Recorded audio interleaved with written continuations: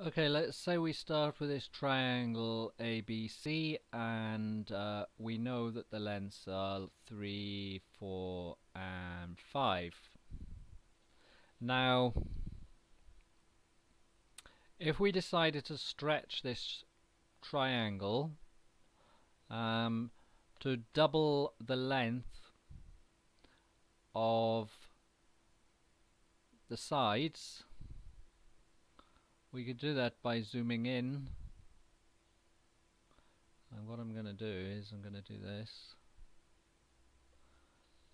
Copy paste and let's resize this.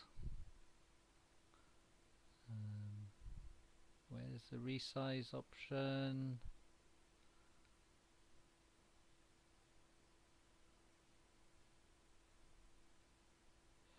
So let's resize it to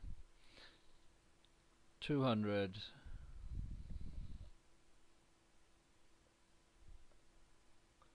Okay.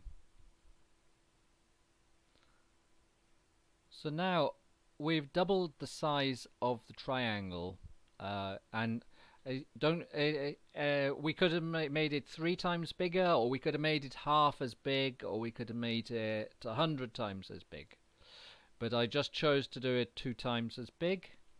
Now obviously these numbers are not correct anymore.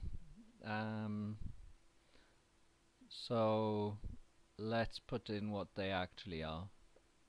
Well it's twice as big so this is going to be 10 this is going to be 8 and this is going to be 6 okay so what about the quantity AB over BC? Did that change or not when we increase the size of the triangle?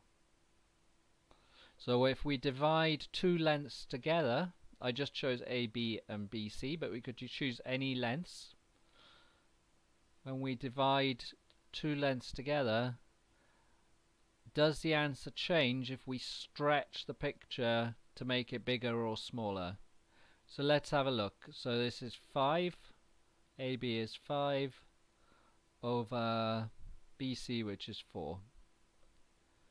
And uh, in the bigger version we've got uh, AB over BC would be 10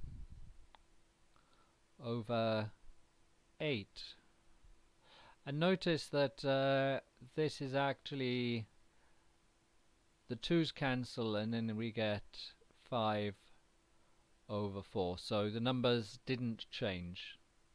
So actually all that happened is that we multiplied this by 2 so it was 5 times 2 over 4 times 2 and if we'd made it uh, 10 times bigger then we'd have done 5 times 10 over 4 times 10 but can you see that the 10s cancel and the answer remains the same? Okay so that brings us to theorem 3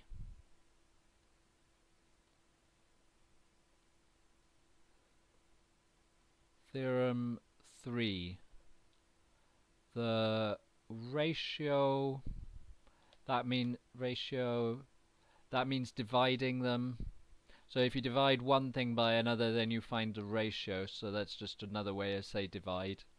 So when we divide two lengths together, the ratio of any two lengths stays the same the same uh, when we rescale. And rescale is basically like resize in paint uh, resize where we just make it bigger or smaller.